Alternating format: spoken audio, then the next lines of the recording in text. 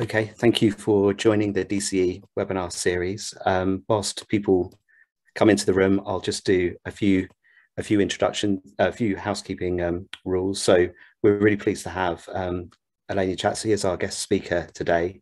I'll hand over to um, one of the DCE editors, Elizabeth Cross, to introduce Eleni in a moment. Um, but uh, just to let you know that the webinar is being recorded, so there will be a, a recording made available um, and disseminated after the after the uh, after the, the webinar takes place. Um, participants, um, attendees are in listen only mode. So if you have a question or a comment, please use the Q and A or the chat, and um, we'll field those after the after the talk by Eleni. Um, there is a hashtag as well. I don't know whether anyone's ever used it, but DCE webinars. Um, uh, as you can see on the screen. So feel free to use that if you want to if you want to tweet about this. I'll just move through the um, the slides that I've got here. So a uh, bit of information here about um, the Data Centric Engineering Journal. So I think a lot of the people who are joining this webinar will be kind of very aware of um, what we publish and the and the scope of the journal, but a bit, bit of information there. And of course, we sort of welcome any submissions. And next slide, um, just to let you know about some upcoming webinars.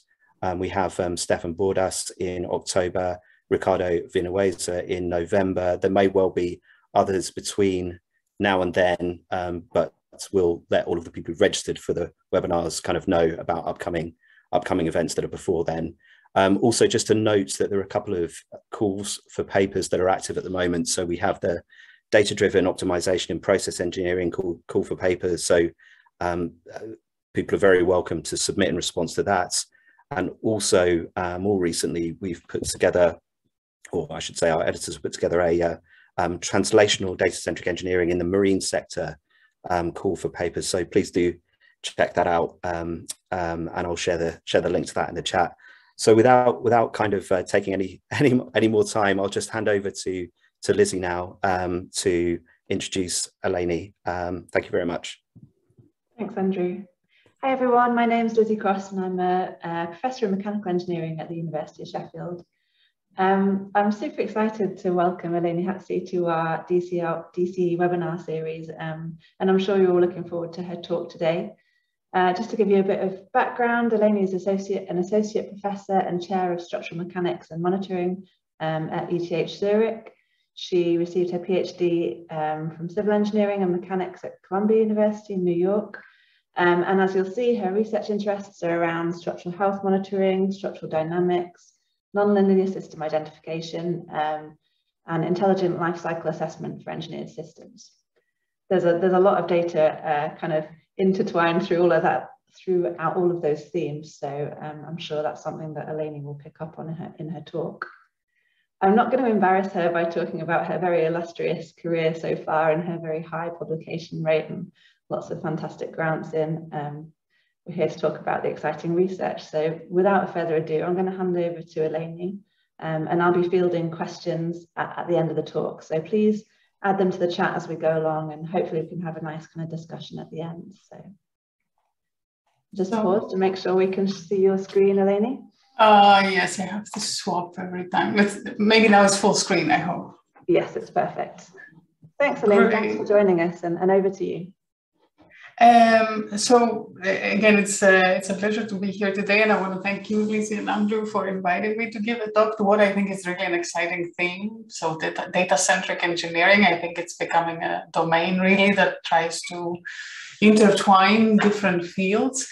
Um, in, a, in a bit of a paradox today, I will discuss uh, why data alone is not enough, uh, and I will try to, to put or see this concept of modeling, which is um, uh, what we are uh, working on in the chair of structural mechanics and monitoring here at ETH Zurich.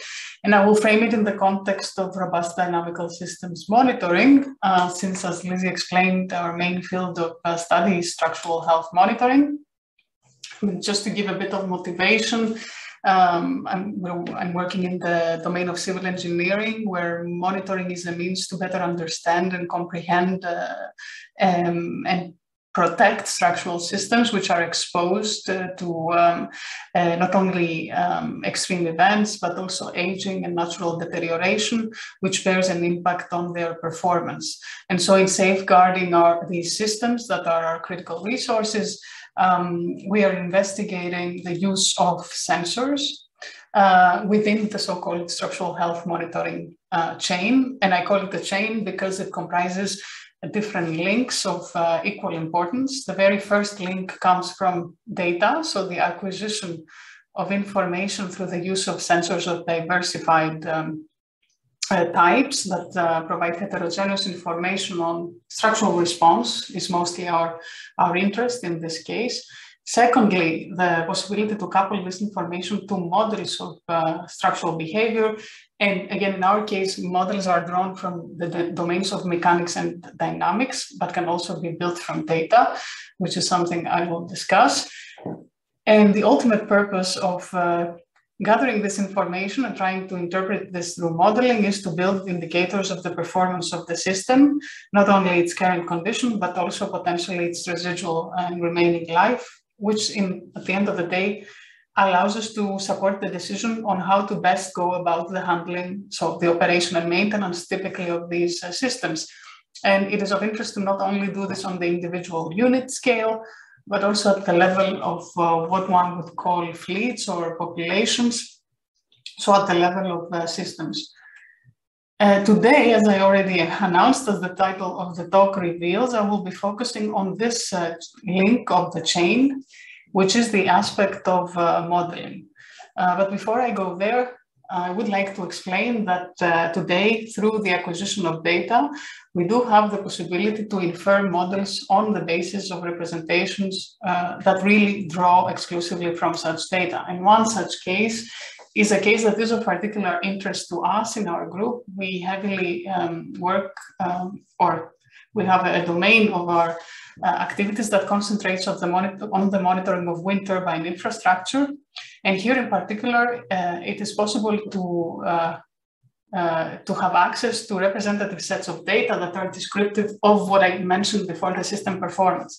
So for example, by using information from SCADA data gathered from wind turbines, it is possible to uh, obtain data-driven representations that are explaining the performance of the system and even explain effects uh, that could be complex, such as the wake effect, and that are not necessarily perfectly captured by the mo models that we have available today, and which could be, in fact, limited by the number of assumptions that we have to place. So in this case, you see a model that is built on the basis of data on wind speed direction um, uh, and, and uh, different locations of the collection of this data at the nacelle, so at the top of these different individual wind turbines and which allows us uh, through the use of uh, deep learning tools, in this case, conditional variational autoencoders, to build a representation of the wake phenomenon and even uh, help to understand how this impacts the performance um, of a wind turbine, uh, also in terms of its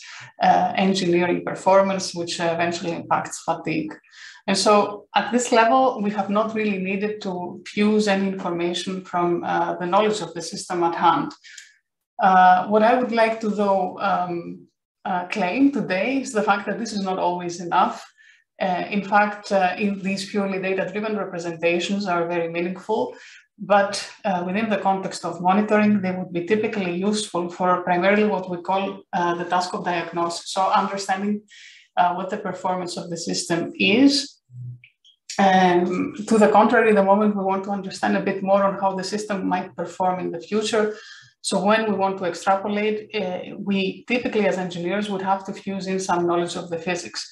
And this is when we want to prognose, when we want to, to, to be able to um, uh, uh, to say something more than what it is we observe through the collection of data. Now, what I would like to show today is the potency of the combination of the two, uh, what is also known as a hybrid modeling. And I know that Lizzie has a lot of work on this, uh, which is uh, also known as the domain of gray box modeling. So when we actually combine physics-based representations with data, trying to merge the best of both worlds, uh, trying to exploit uh, the knowledge that comes from physics, but also corrected on the basis of information that uh, come from the system as is. Now, the main problem that we're dealing with in our group is the fact that when we want to do this fusion, we have to deal with the fact that uh, the physics-based representations have to be on par with data, which means they have to compute at the rate that is fast enough to allow us to do this fusion, oftentimes for tasks that need to be in real time. Uh, diagnostic tasks is one, one such example. So the computational toll uh, of the physics-based representation has, has to be brought down so that in the end we can have a virtualization or a digital twin uh, as uh, often referred to of the system that can operate with data. So uh, let me explain a bit on this attempt on, mod on, modeling by trying to bring down computation by fusing information from the underlying physics. And I will try to do this in stages. And so for the first stage, I will present the case uh, of uh, the monitoring again of a wind turbine structure, which is for us a, an exciting problem uh, with many different facets. So here I show you uh, the response of such a wind turbine, which is illustrated in the contour plot, in the frequency plot of about 10 minutes of data. Um, for those that are familiar with dynamics, you will see from this kind of spectral plot that the frequency content, so the main frequencies of the turbine are not constant. This is a non-stationary system, but they are affected or uh, essentially they vary within this 10 minute range. Now, if I was to explore this in an even long, uh, lengthier time window over a period of a month, we see further variability, which is induced on a second level by the influence of uh, varying environmental conditions on the site or even operational conditions. So this is a challenging system for us because it has two, uh, let's say, scales of dynamics the time periodic dynamics in the sh shorter scale or turbulence effects, and then the dependency on slower evolving environmental and operational conditions. Now we could, uh, in a data-driven representation, try to ignore the fact that we have this knowledge, but what we try to do is uh, to try and see this sort of uh, anticipated knowledge of the dynamics. And I show you here how we do this on an actual case study uh, from an op operational wind turbine uh, in Germany, in this location in Lübbenau. This is a Vestas turbine, which we instrumented with some relatively cheap uh, instrumentation accelerometers across the tower in this case, which give us some information on the response of this system. And at the same time, as I mentioned before in my initiating example, there's information from turbines that is explicative of the operational and environmental parameters, the direction, the speed of the wind, the power that is produced or the temperature. And this is what I referred to before as the slower evolving, evolving environment. Um, it's also information that comes at uh, lower sampling rates, so usually averaged over a period of 10 minutes. So the challenge for us is to try and uh, fuse these two scales at, uh, in a way that is meaningful for this type of system. And to do this, we try to break the representation of the system into this hierarchical model, where in the shorter time scale, we try to tackle the dynamics using appropriate time series representations. So here is where we fuse knowledge of the dynamics. And we do this, there exist several options to do this, and I will explain some of these options uh, next. And in the second level, we try to capture the dependence on the slower evolving environment and its variables through uh, dependence models. Uh, once we have uh, constructed this hierarchical model, we use it for prediction, and we try to also uh, use it for the diagnosis of damage by comparing our anticipated response with the one we actually measure through our monitoring systems.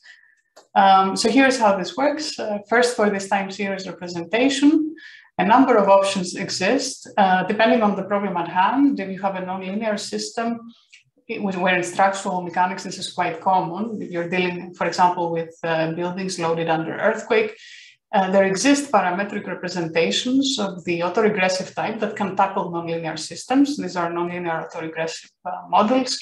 The same applies for non-stationary systems. You can have a parametric representation in the form of a discrete wavelet transform, which is one of many options. And for wind turbines in particular, some of our favorite representations are in, uh, in the form of time varying or linear in the parameter varying uh, autoregressive uh, models. And so this is what we will be using here. The main benefit of using such a parametric representation is that it tries, as I said before, to seed in some expected, anticipated knowledge of the dynamics. So it biases the prediction, but in a way that tries to embody knowledge.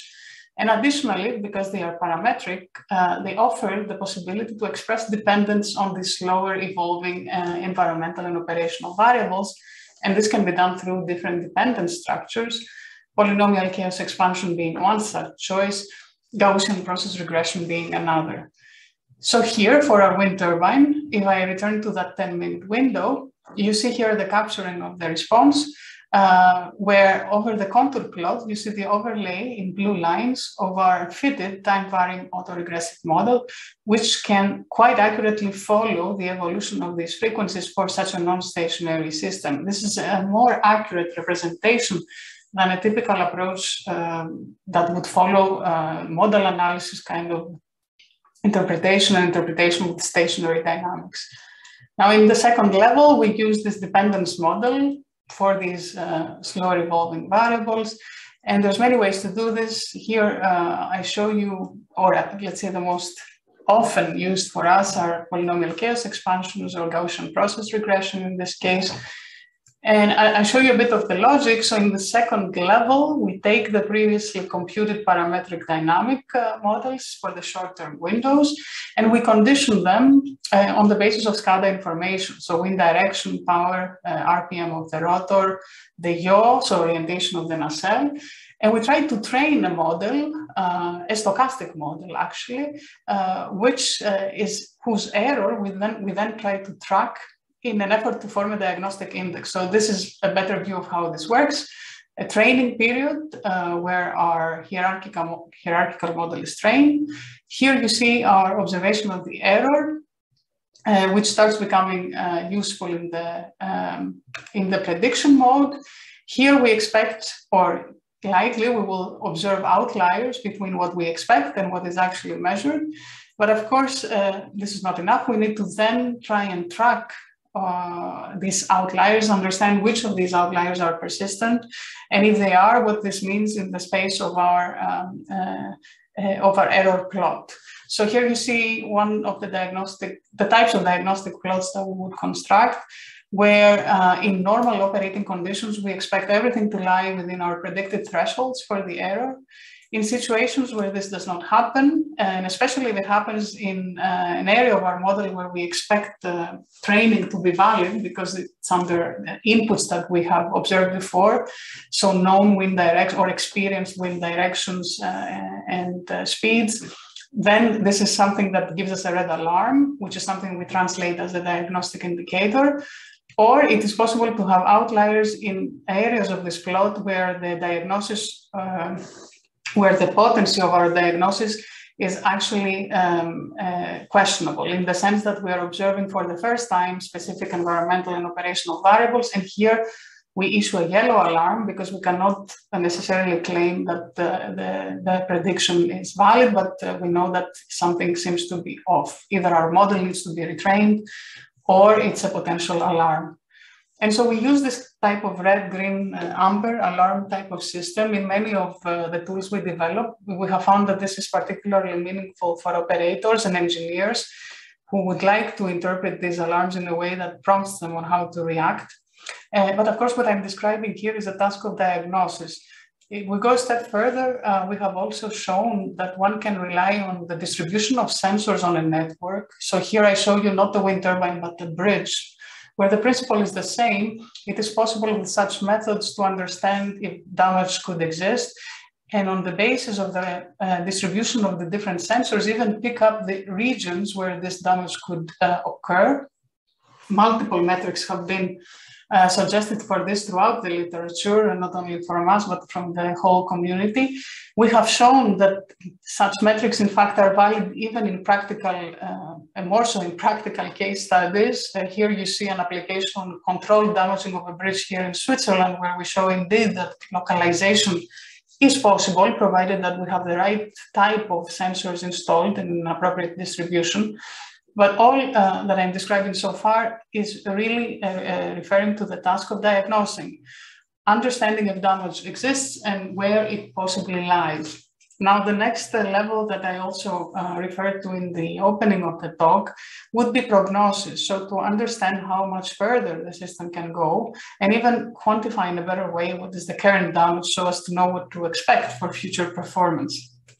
So in this case, we need to bring more of the physics into the representation, meaning beyond the principles of dynamics that I tried to say in earlier, now mechanics also comes into play. But in this case, we're now uh, starting to discuss finite element model representations, at least for our structural systems. And this implies a lot of computational toll, which is not necessarily easy to combine with data, at least not in affordable timescales.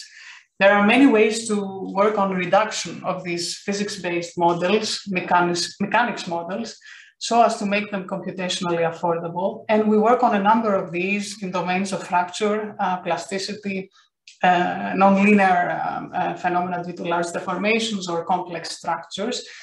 But today I would like to show you an approach that relies on exploitation of a machine learning approach for producing what we call reduced order models of expensive numerical simulations. And again, this is in an effort to bring computation down to the level where it can be combined with data.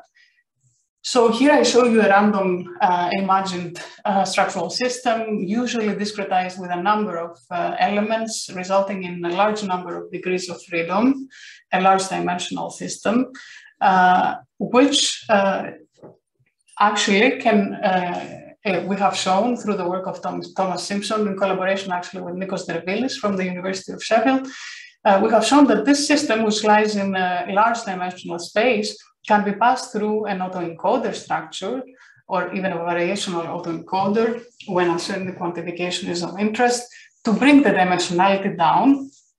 And in this case, uh, resulting in a few parameters that describe the system, even, if this is a nonlinear system representation, we uh, retain this very this lower dimensional space, which we then try to condition with physical inputs. So uh, this framework we have developed primarily for the purpose of substructuring. So here we usually map this lower dimensional space, which is non-physical, to a physical forcing at the boundaries of our domain.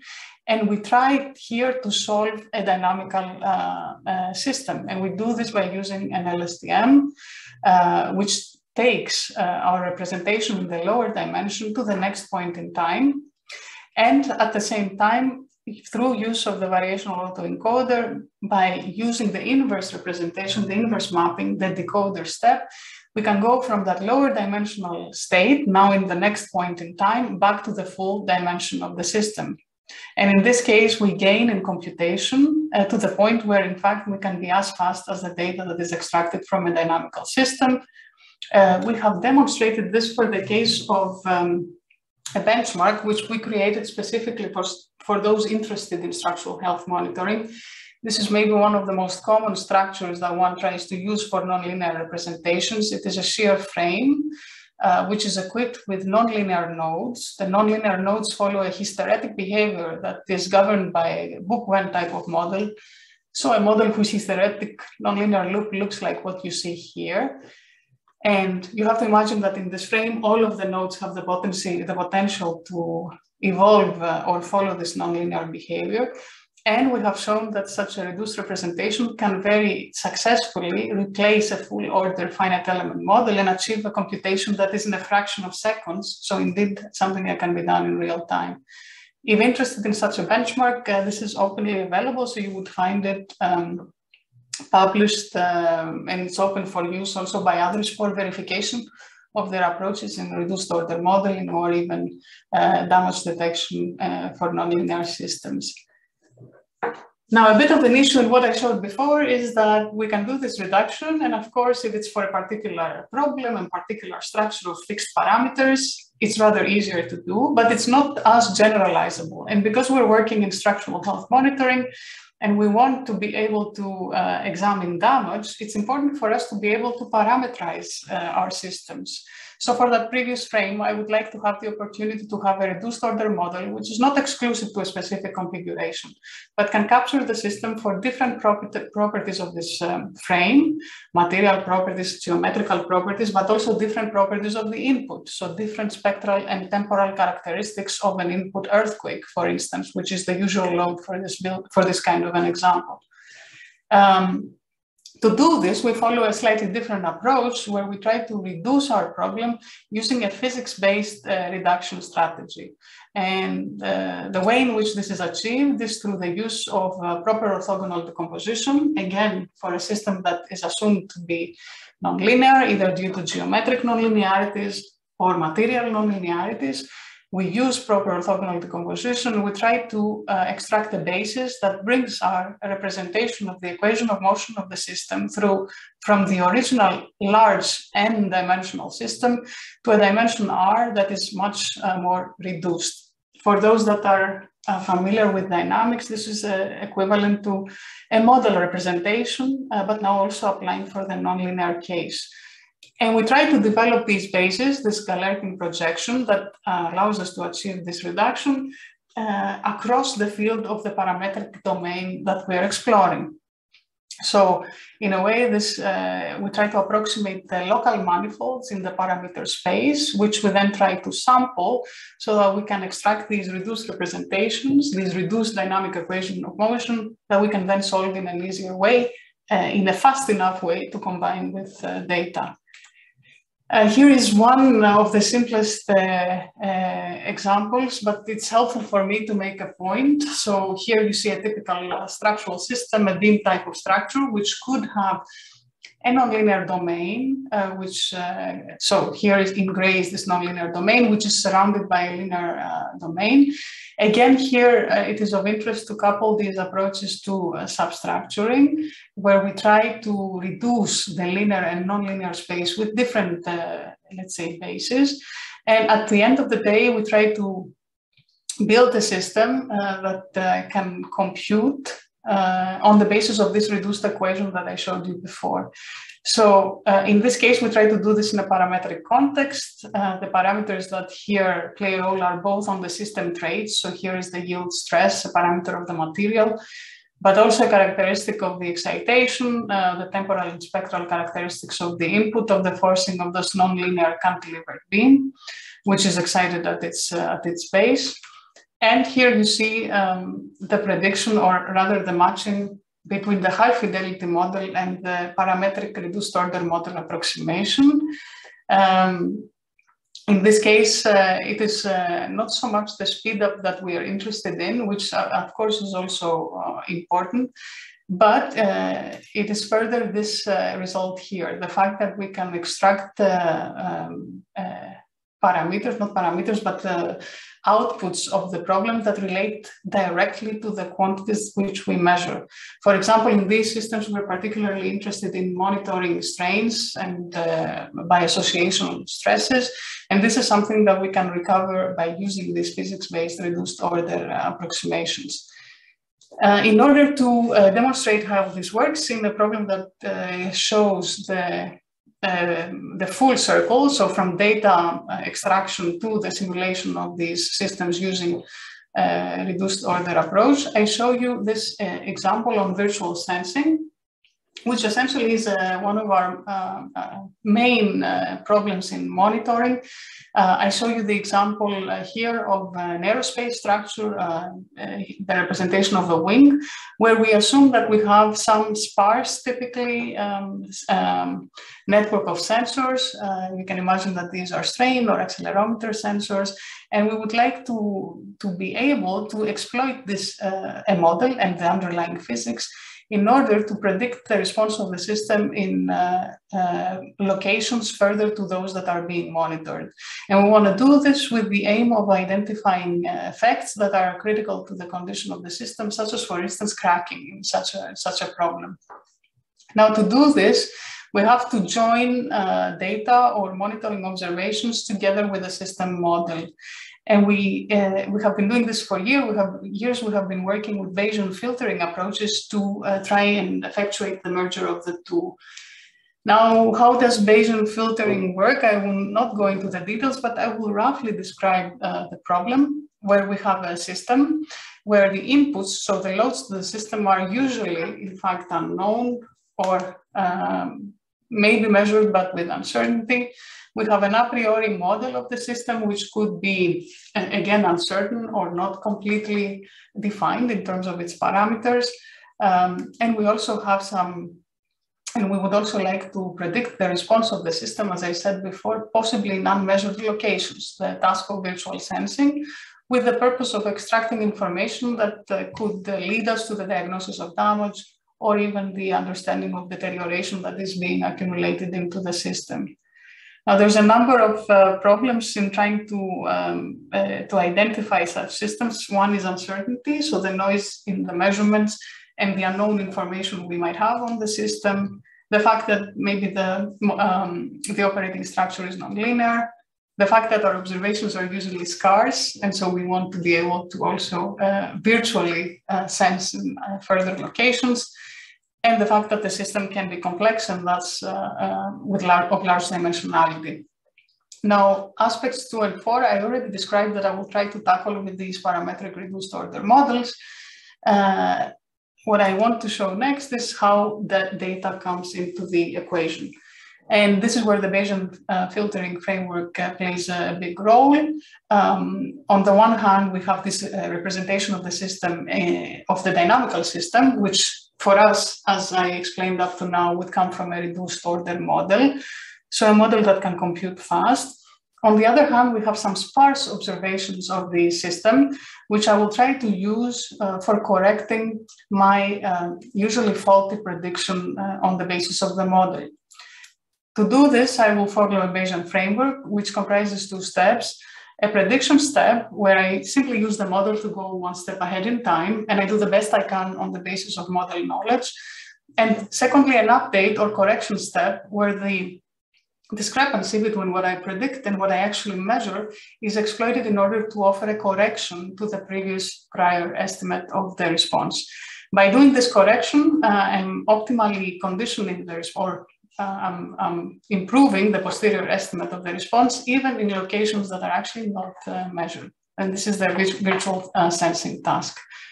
One of the tools we use to do this is the particle-based filters and the unscented Kalman filter, which try to um, exploit or represent the uncertainty of the system.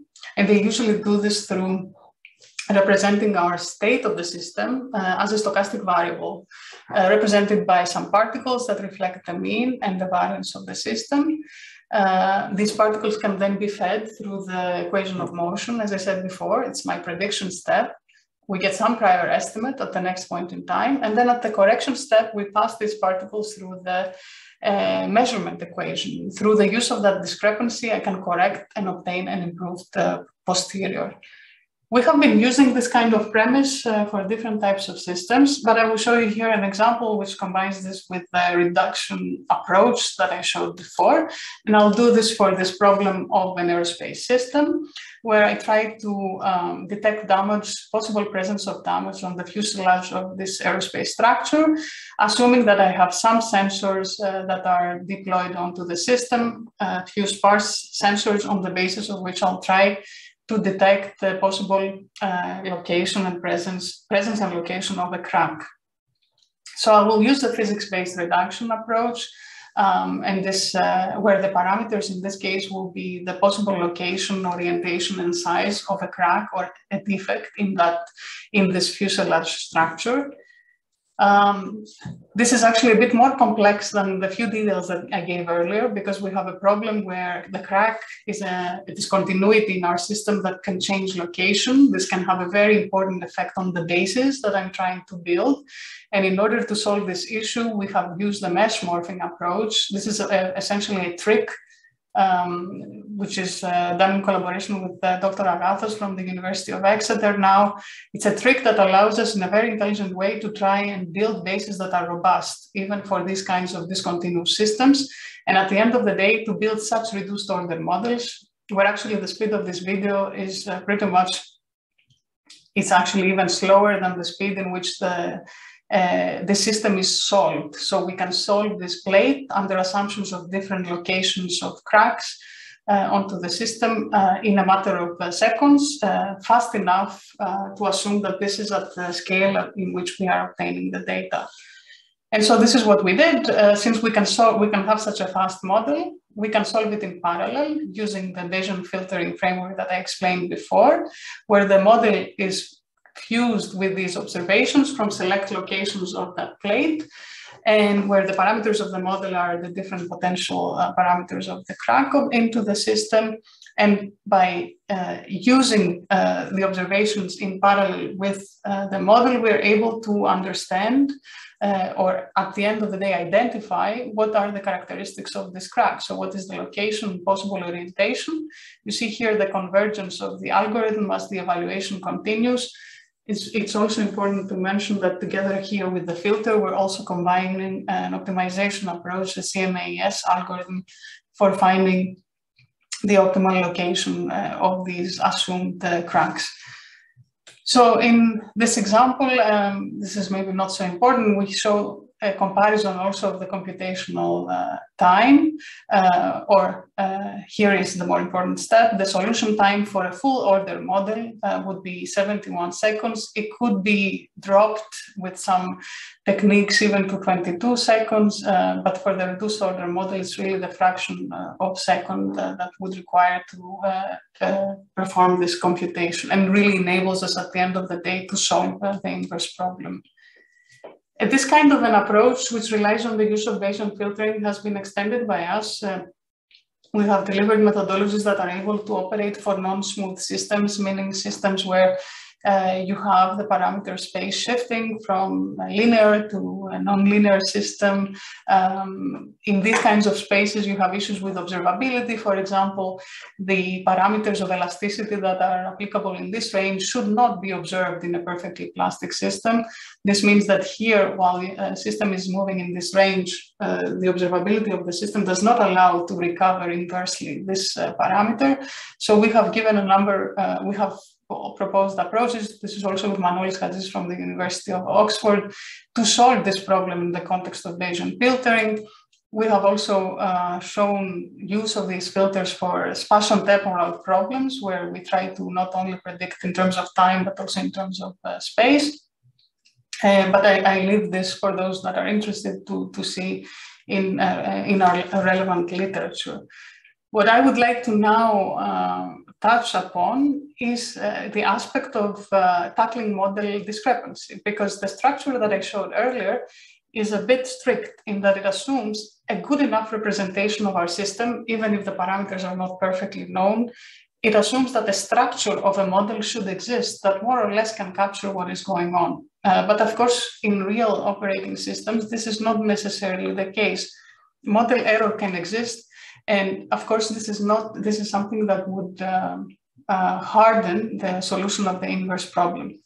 So to make this concrete, I will show you a concrete example from a project that we have in Singapore uh, that is on the assessment of the condition of roadway of transportation infrastructure. Here we're developing, developing a platform, uh, a relatively cheap platform, uh, a sensor platform that relies on the use of accelerometers which can be mounted on different types of vehicles and which can be used to assess the condition of the transport infrastructure that is being traversed uh, by these vehicles. So of course, on the basis of the dynamic information that is collected, usually in the form of accelerations. So we're going for an indirect type of infrastructure assessment using mobile sensing as a means. Now, to solve this problem, uh, we could try to follow the process that I mentioned before, but this would necessitate that our model of the interacting system of the vehicle and the substrate is a very accurate one. And this is uh, hardly ever possible for these uh, actual systems to achieve.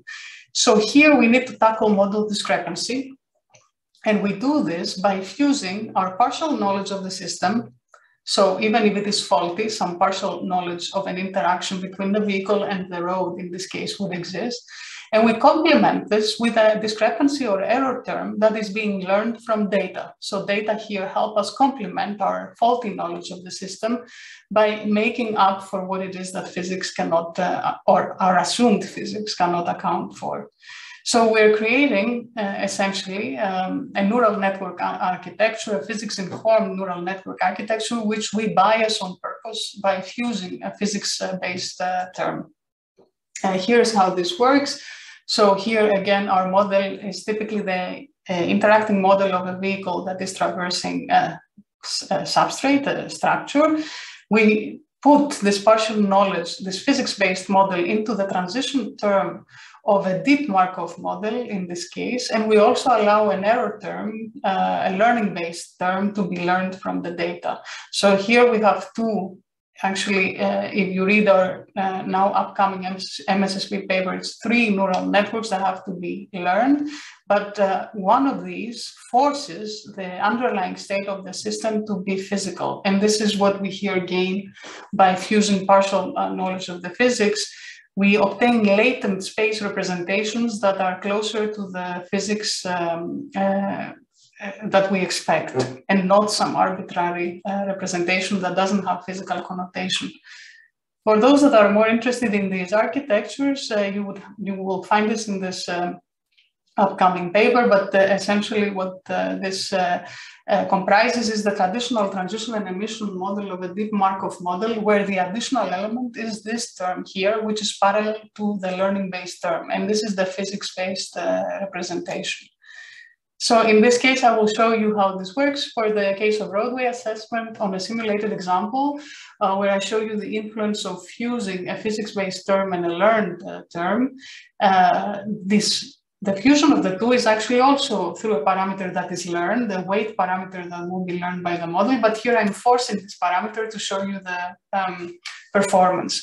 So here we have an accelerometer assumed on the basis on the wheels of this uh, vehicle, and we try to recover the roughness of the road that is being traversed. So the roughness profile, which is actually the uh, load to the system. And so if you uh, put too much weight on the physics or uh, more weight or equal weight on physics and just a data term, uh, you see that you don't get so much of a good performance. For physics, it starts becoming better after a while. But the optimal term at which the two can be combined is something that is actually a compromise of what is the partial knowledge of the system and what can be learned from data. We're actually now uh, implementing this on actual on real rides. Uh, it's a collaboration with the SMART uh, MIT uh, group in Singapore, who have given us access to their uh, vehicle that we have now instrumented with this experimental uh, platform.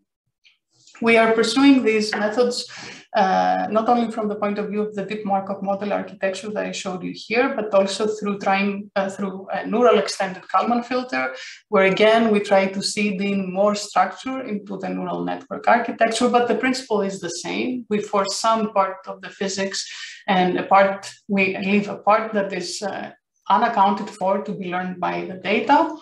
And we also try to seed in constraints that try to respect our, the physics of our dynamics problems. Uh, this is also done through the use of symplectic encoders. And this is the team in Singapore that is uh, heavily developing these tools, uh, Wei Liu, Zhilu Lai, and Kiran Bacsa.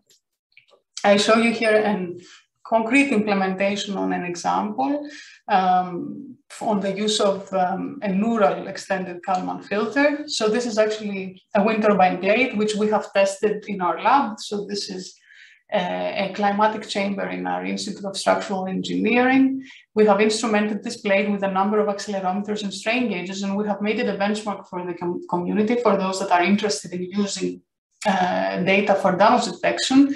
We have tested it in healthy conditions, but also after creation of a number of different damages of diversified intensity. Uh, of course, as you may expect, we do not have a perfect model that describes the system. We have a good enough updated model, but not one that is perfect. And this is why this is a great candidate to try and implement this framework on. So these are the different scenarios of the damages, different classes of damages for this um, blade um, which we excited in a dynamic fashion. We extract measurements from these sparse uh, network of diverse sensors, and we try to take our faulty, uh, as I said before, or oversimplified model, combine it with this uh, neural uh, uh, extended Kalman filter, and you see here our prediction of the response after having trained the model on healthy data. You see that we can actually quite well capture the anticipated response for our healthy system. But the same would not apply for the case of a faulty system. Uh, in this case, uh, it would be harder. I mean, there would be a discrepancy between what we predict and, and what we can actually uh, observe uh, from the system. And we use this kind of discrepancy now uh, to try and see if we can classify damage, which indeed can be done in a quite robust way. We can separate the categories of damage that we have created uh, into this uh, system by simply following this kind of uh, logic, where our trained model um, uh, or a, a, principal component analysis on our predictive model can generate these different classes of the of the response, which indicate a different condition of the system. And as a very last um, part, and I see I have about four minutes, so I'll keep it short. I would like to show you what can be done next. So after having constructed these hybrid models, which try to do or try to optimally diagnose and prognose possibly the response of the system, we would like to use this information for decision support. And to show this concept, I will stay on a topic that is close to my previous example. Eh, it's the topic of railway infrastructure assessment from mobile sensing data. Again, uh, sensors that are mounted on uh, the axle boxes of these trains. This is data we have in collaboration with the federal railway authorities that have been very um, uh, good in offering a series of such information, which we then exploit for condition assessment. A very simple way to extract uh, an indication of condition from acceleration data turns out to be what is known uh, as the longitudinal level of the rails. It's basically a morphology of the rails that can also be extracted from integration of accelerations and which can be uh, also uh, treated in what is known as a fractal value indicator. The details for this is not so important. The important aspect is that for every position of the track, there is a way for us to develop an indicator of the condition. But of course, the point is, what do you do with the information on evolution of this indicator as the time progresses? Or uh, when an action is taken onto the system, a corrective action for improving the condition. To solve this problem, we create uh, essentially uh, this uh, uh, decision support framework that is that relies on the on the concept of sequential decision making. So we have a system which we monitor, uh, which we have some uncertain information on through monitoring. We uh, assume corrective actions and we would like to point the operators and the authorities in the best way, the best strategy to follow, the best actions to take to minimize the overall costs in an anticipated horizon. Now, this is a known problem uh, which is typically solved using a Markov decision framework.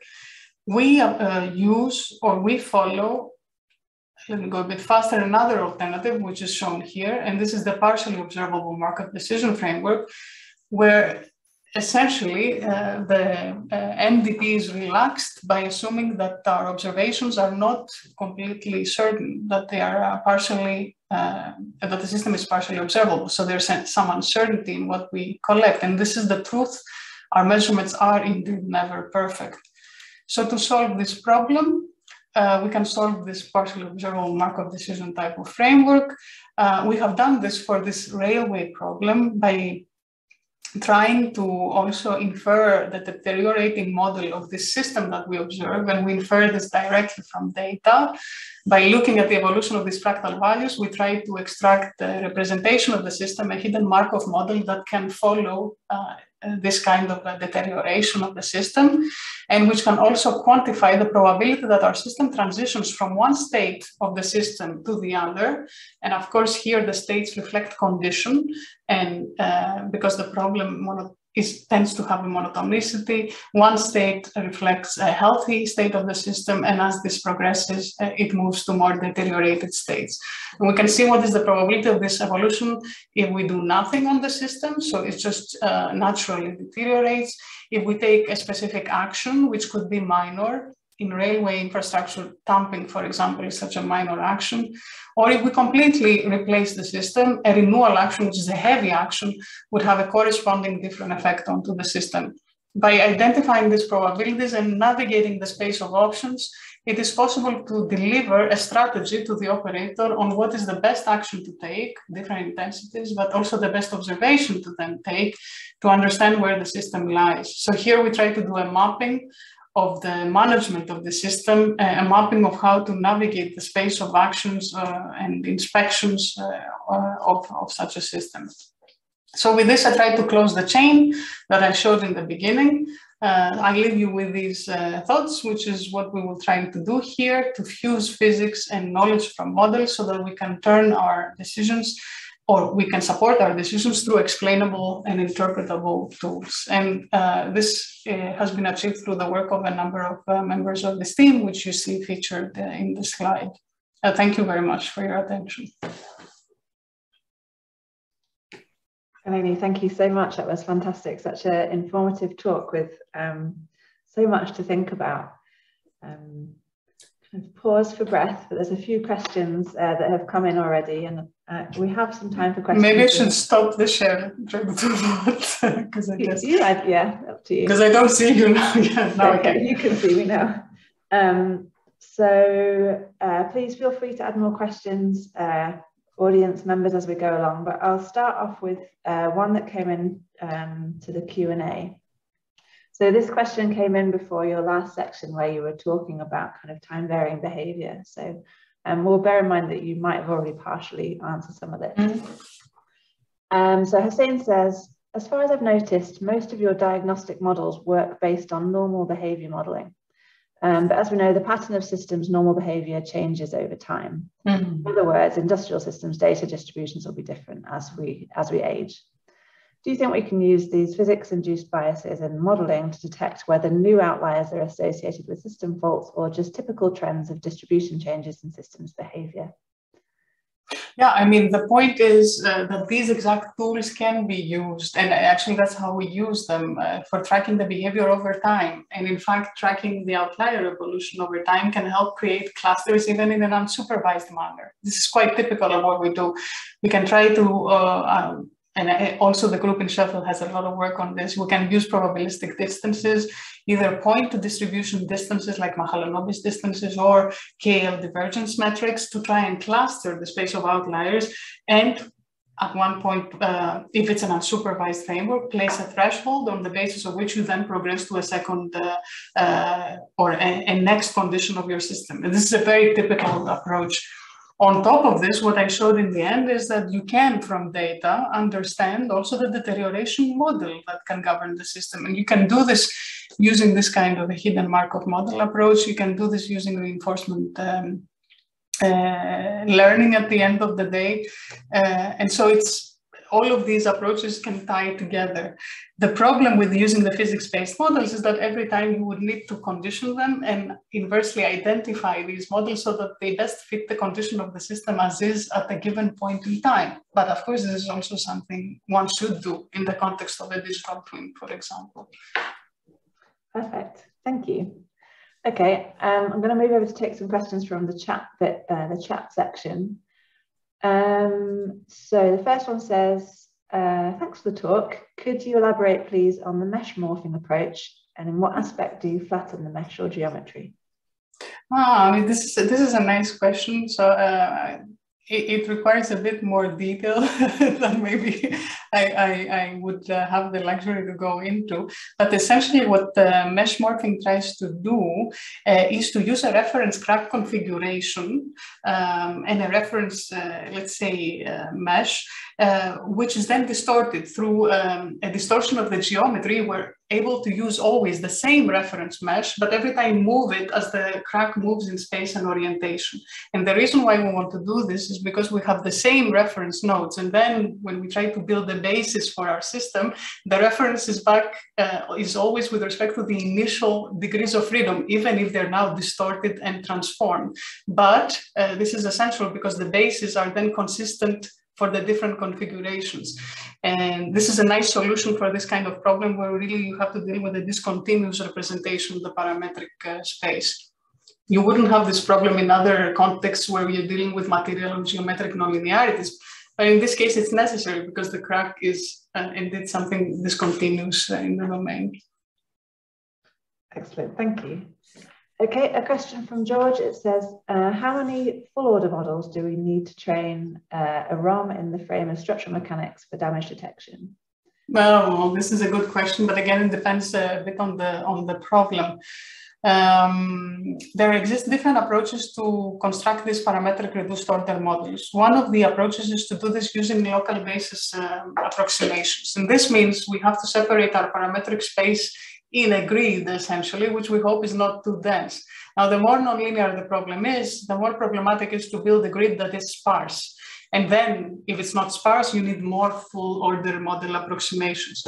We have tried to solve this problem by doing a dual projection uh, in, our, uh, in our work, which means um, we try to separate our space, uh, but then we also try to take these bases and uh, project them one step further into a more reduced set of coefficients. And we're now showing that this could help save the number of uh, full order model evaluations because it helps keep the grid rather sparse.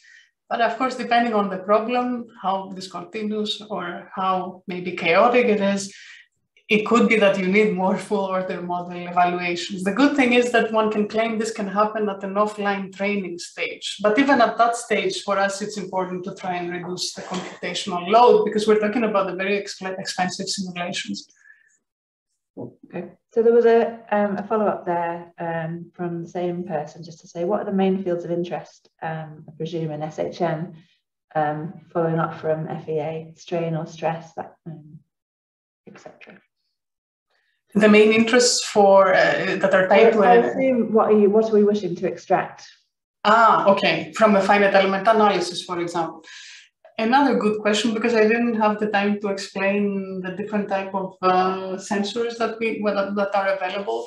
But typically, uh, when discussing SHM, uh, we we are discussing the automated and to the degree feasible continuous, well, the continuous and to the degree feasible automated monitoring, which is usually effectuated with uh, sensors that measure dynamics. And it, this could be acceleration in most cases, it could be strain through conventional strain gauges, or even distributed fiber optical sensors that gives strain information over quite a sparsely dense uh, interval, either along the line, usually along the line if it's fiber optics.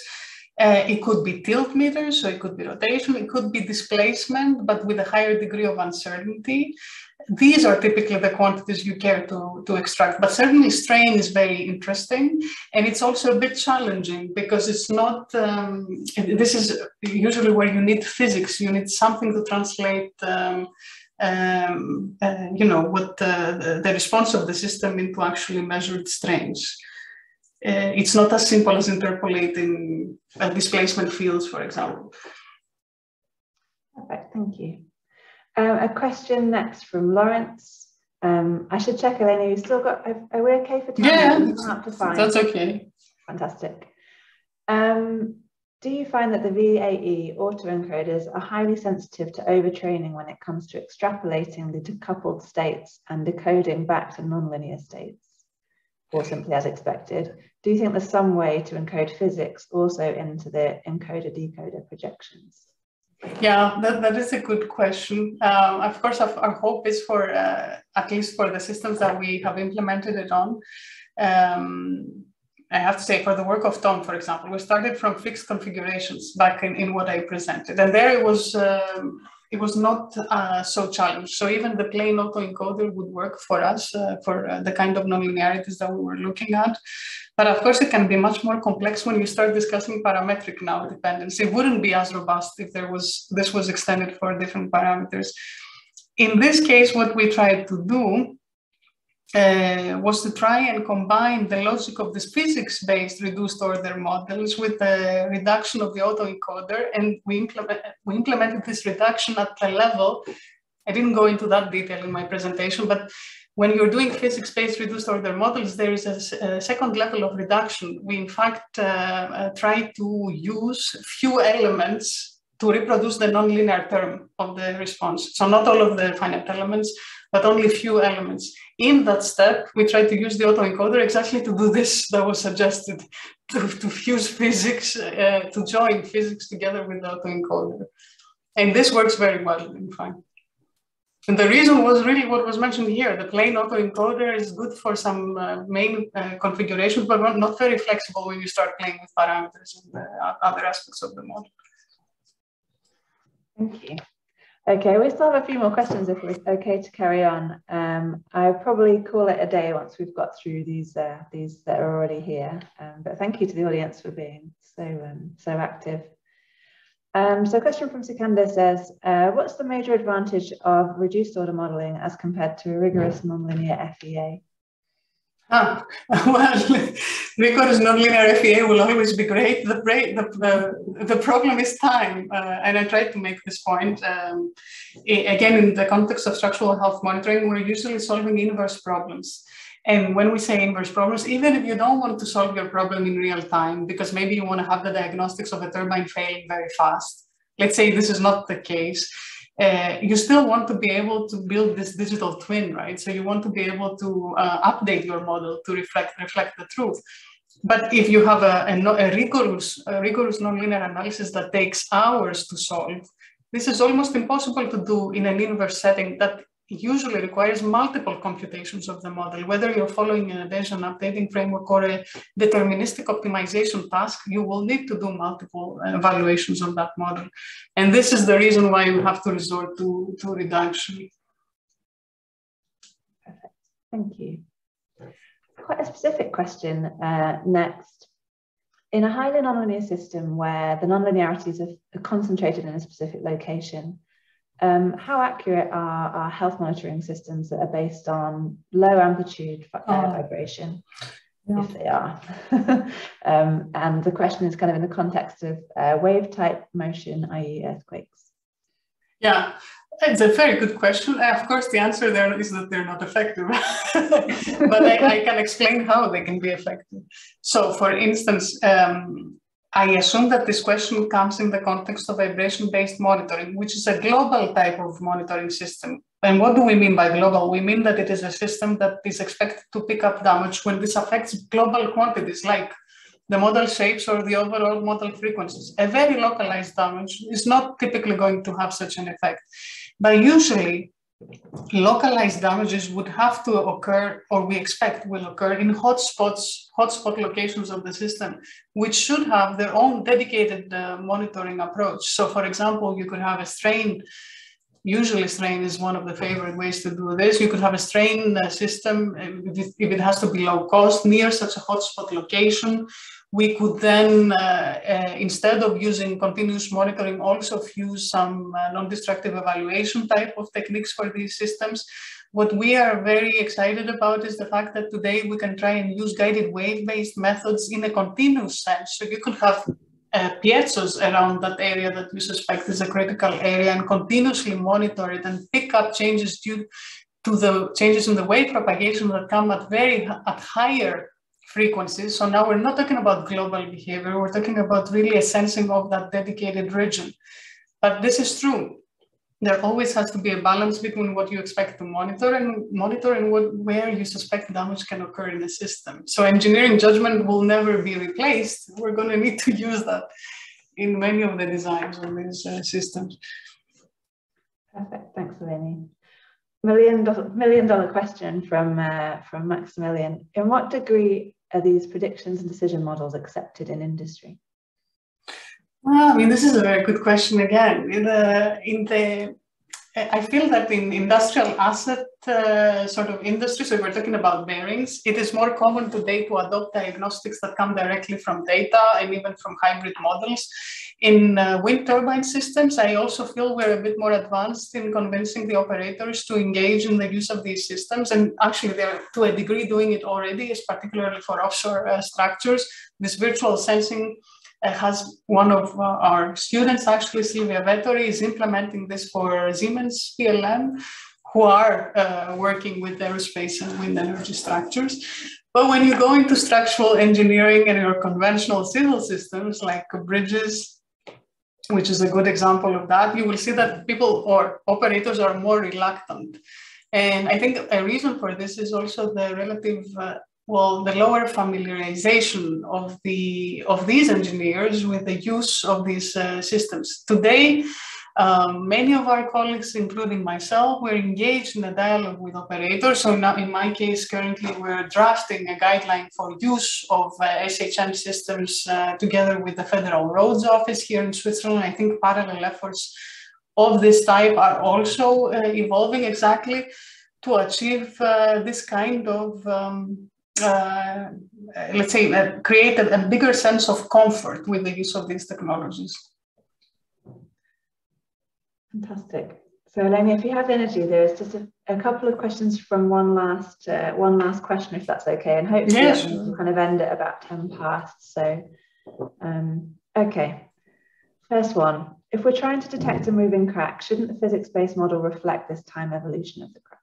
Yeah, and this is a good point, and you can. So you can also have a proper uh, criteria for propagation of the crack. This is possible because the reduced order model comes from the full order model reduction. It would be possible to do this.